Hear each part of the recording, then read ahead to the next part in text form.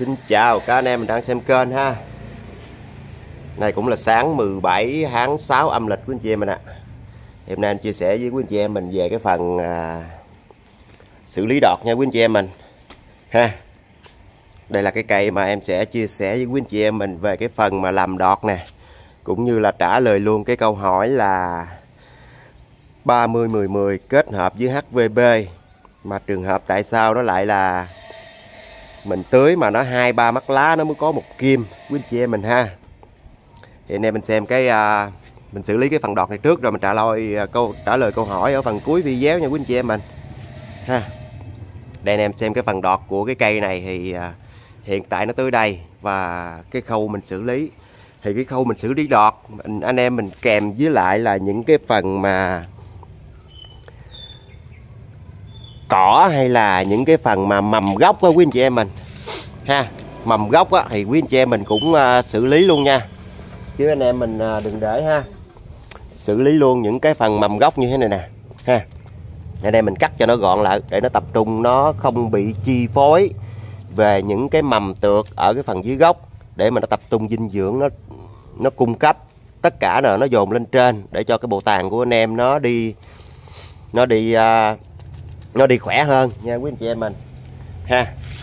Thì à, sau khi mà mình bấm hết tầng gốc á, thì bây giờ anh em mình thấy có những cái chỗ mà em để. Em để vì chỗ này những cái rễ nó còn hơi nhỏ nè quý anh chị em mình thấy ha. Rễ nhỏ nó phần hơi khuyết thì mình để lại để cho những cái phần này nó nuôi cái những cái rễ này nó sẽ nhanh to hơn. Nha quý anh chị em mình ở đây thì cũng là một cái à, mẹo nhỏ để anh em nào à, làm thì anh em mình à, tham khảo thêm ha rồi, cái phần bấm gốc thì anh em mình, thời điểm này là anh em mình cắt tập trung cho nó nuôi, cho nó nuôi làng tàn trên nha quý anh chị em mình.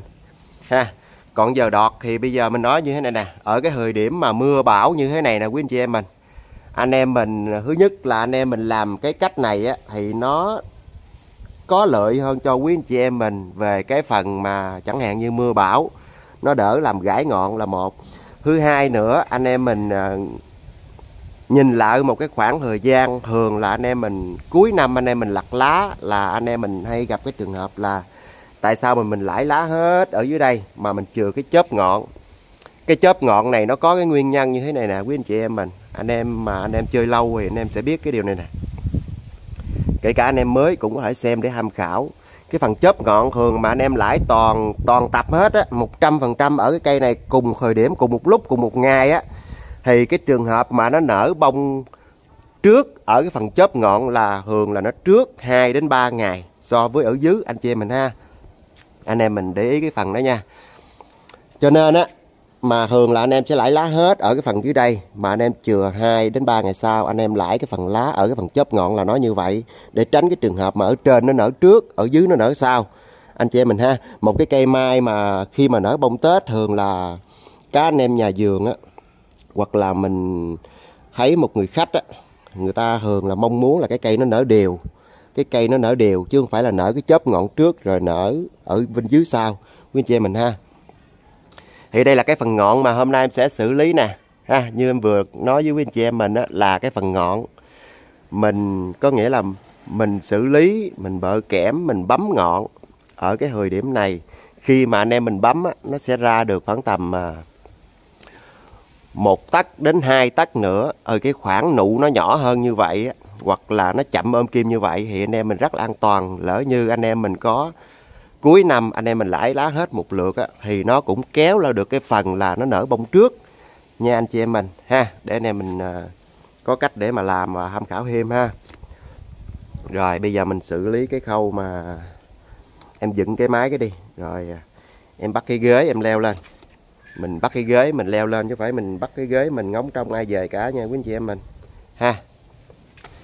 Rồi, bây giờ anh em mình nhìn tổng thể cái cây này đi. Ha, cái tàn của nó hiện tại là 1m2 đến 1m3 ha, cái chậu dưới là lọt lòng là 83 ha, phủ bì là 93 anh chị em mình ha, thì anh chị em mình thấy cái à, đọt này bây giờ mình xử lý.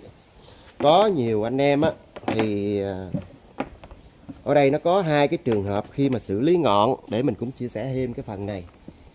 Có trường hợp là anh em sẽ bẻ cúp cái ngọn này làm cái nhánh kế tiếp. Chẳng hạn như anh em mình thấy cái nhánh này, nó ra đây, và bẻ cái ngọn này nó xuống đây. Thì cái trường hợp đó anh em sẽ hiên về bonsai nha quý anh chị em mình. Vì cái đọt đi như thế này nè, lúc nào á, nó bự hơn cái nhánh. Mà nếu như anh em bẻ xuống thì cái nhánh này nó sẽ ở trên cái nhánh này ha, cái đọt này mình làm nhánh thì cái đọt này nó sẽ làm trên nhánh này. Nhưng mà rốt cuộc lại nó sẽ to hơn cái nhánh này thì nó sẽ xấu, cho nên bắt buộc anh em mình phải bấm nó đi, suốt cái thời gian mà mình vô kẽm cái cây này. Vô kẽm cây này tính ra nay cũng là hơn tháng rồi quý anh chị em mình, ha. Mình à, cũng phải giữ cái đọt này, mình vô kẽm mình bợ như thế này nè, để mình tránh cái hiện tượng mà nó kiểu như là gió nó gãi đọt á quý anh chị em mình. Ha ở đây anh em mình à, sẽ bấm. Ha mình bấm để mà mình lấy cái phơm mình nó cân đối với lại cái tầng không. Nha quý anh chị em mình. Anh em mình không cần phải à, quá dài ha. Ở đây em sẽ bấm ở đây. Rồi mình sẽ bỏ cái đọt này đi nha quý anh chị em mình ha. Rồi em sẽ quấn lại cái kẽm đó.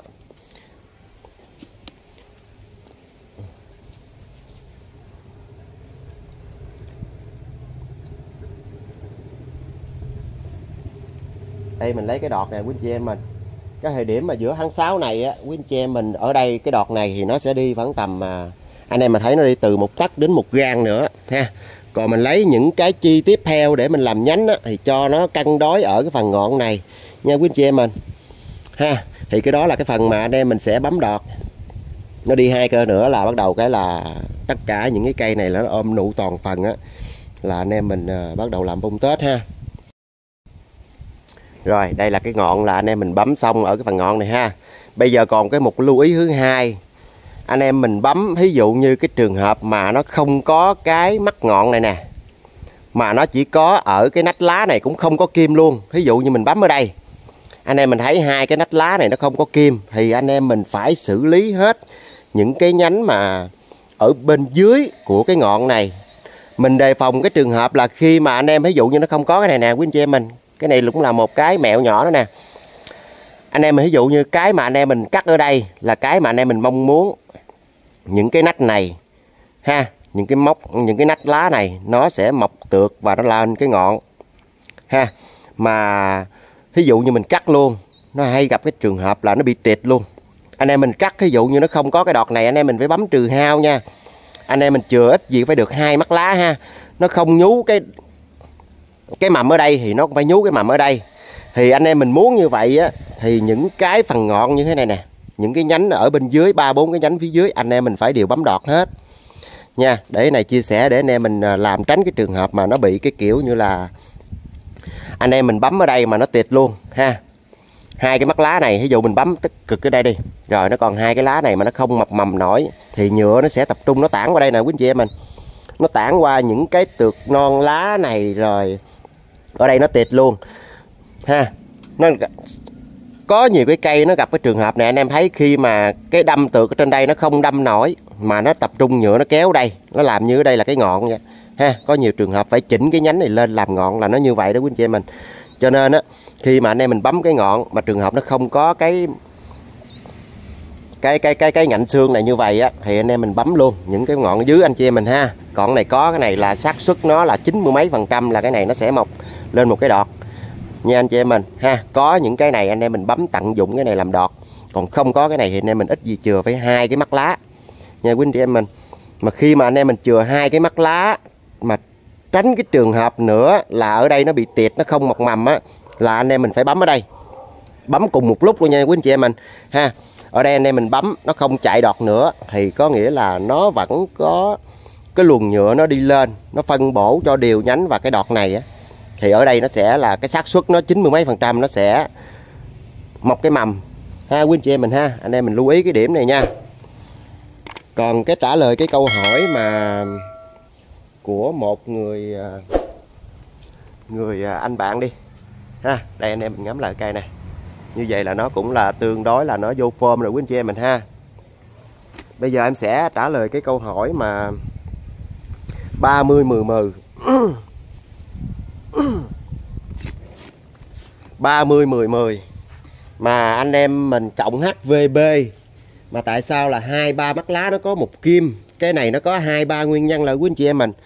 Mình nói cái về cái nguyên nhân thứ nhất đi. Chẳng hạn như khi mà anh em mình à, thứ nhất là mình nói cái giống trước đi ha.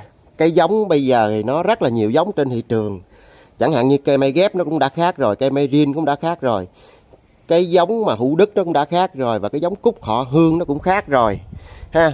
Bây giờ mình nói ví dụ như cái giống mai của anh em mà anh em không ghép, anh em chơi rin, thì cái trường hợp hai, ba mắt lá nó có một kim là cái chuyện nó rất bình thường như quý anh chị em mình.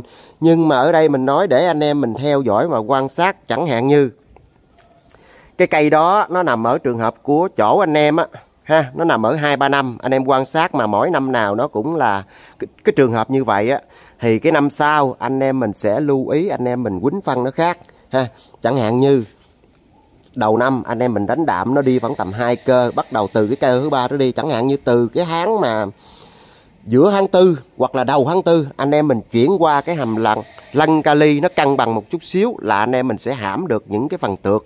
Nó đi hưa mắt lá đồ này kia và nó tránh cái hiện tượng là hai, ba mắt lá nó mới có một kim. Anh chị em mình ha, đó là mình nói về à, cái giống mai rin hoặc là cái giống cúc họ hương, nó đều như vậy nha anh chị em mình, ha.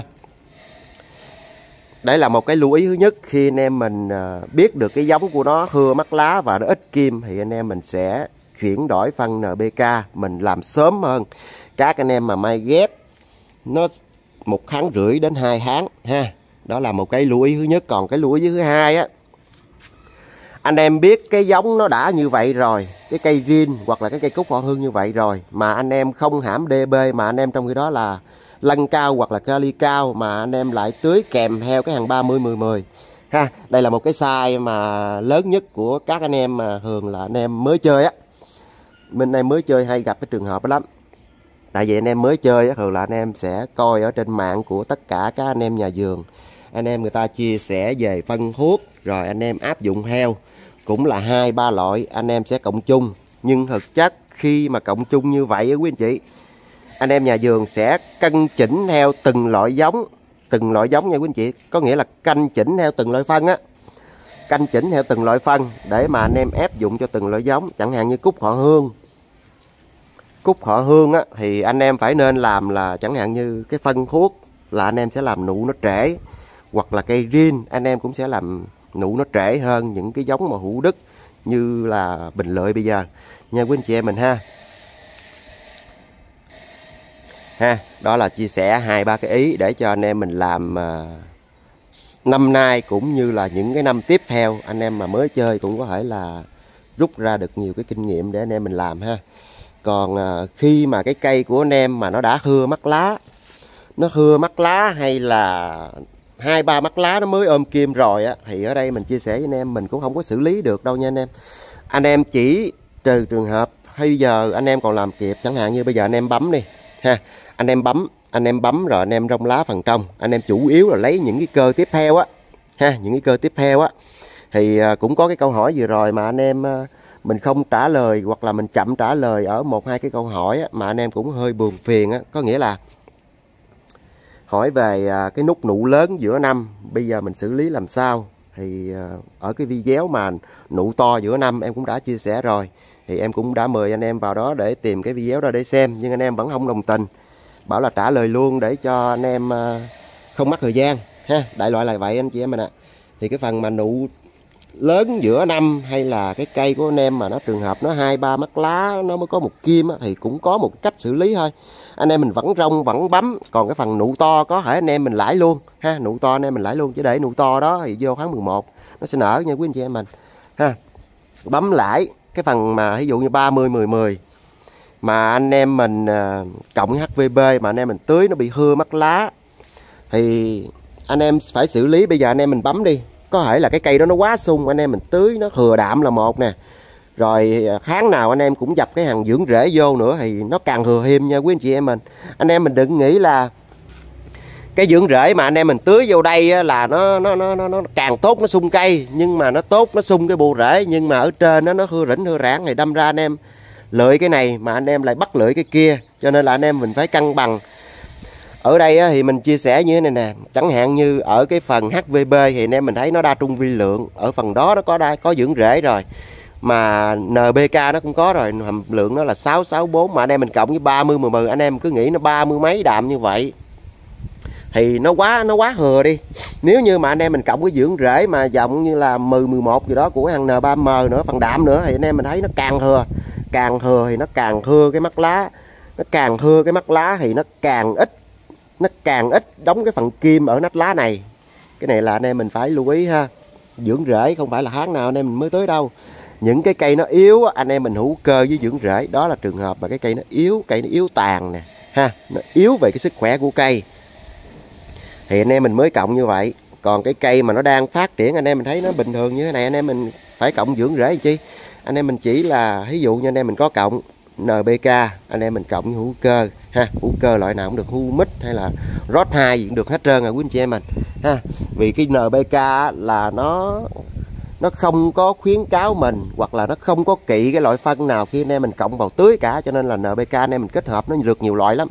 Kể cả cái NPK mà 15 năm 20 anh em mình kết hợp DB vẫn vô tư nha quý anh chị em mình, nó không có, nó không có phạm phân hay là trừ khi anh em mình tưới quá liều nó mới phạm phân thôi, ha đó là chia sẻ một số thông tin về giữa tháng 6 này cũng như là trả lời một hai câu hỏi để cho anh em mình à, nắm mà anh em mình à, kiểm soát được cái cây ở cái thời điểm giữa tháng 6 đến bắt đầu chuyển sang tháng 7 nè, tháng 8 tháng 9 nè ha.